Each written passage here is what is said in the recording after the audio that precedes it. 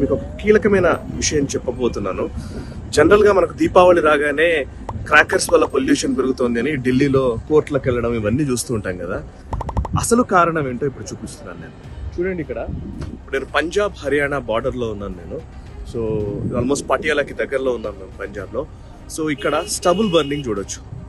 Actually ఇక్కడ పంట వచ్చినప్పుడు ఆ పంట బర్న్ చేస్తారు.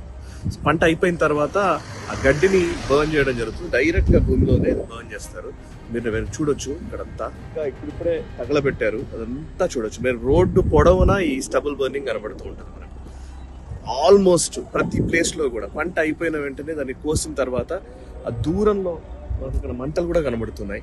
సో ఇదే అసలు కారణం అనమాట మీకు వెనకాల చూస్తే పొగలు వస్తున్నాయి సో ఈ పంటలను కాల్చడం వల్ల ఈ పొగ మేఘాల్లో చేరుకొని ఈ గాలికి మళ్ళీ ఇటువైపు నుంచి వచ్చే ఈస్ట్ వైపు వెళ్ళే సౌత్ వైపు వెళ్ళే గాలికి అది ఢిల్లీని కమ్మేస్తుంది యాక్చువల్లీ. ఇది పొగ మంచు రూపంలో అయ్యేసరికి అది విపరీతమైన పొల్యూషన్ క్రియేట్ చేస్తుంది.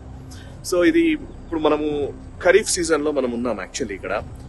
అంటే ఇప్పుడు మన రబీ సీజన్ వచ్చేసరికి మనకు అక్టోబర్ నవంబర్లో ఆ టైంలోనే కాల్స్తారు. అవి విపరీతంగా మేఘాలుగా మారిపోయి ఆ చలికాలంలో మొత్తం ఢిల్లీ మొత్తం కమ్మేయడంతో చాలా ఇబ్బంది పడుతున్నారు అండి అది అసలు విషయం. ఈ స్టబుల్ బర్నింగ్ అనేది చాలా కీలకమైన సబ్జెక్ట్ అండ్ ఈ రాష్ట్రాల్లో మొన్న ఫార్మర్స్ లాస్కి సంబంధించి వాళ్ళు రైతుల పేరిట జరిగినటువంటి ఉద్యమం నేపథ్యంలో అక్కడ కూడా వాళ్ళు పెద్ద గొడవ చేశారు. ఆ రైతుల పేరిట. వాళ్ళు ఏంటంటే ఈ స్టబుల్ బర్నింగ్ చేసే వాళ్ళపైన కేసులు నమోదవుతుంటాయి ఇక్కడ.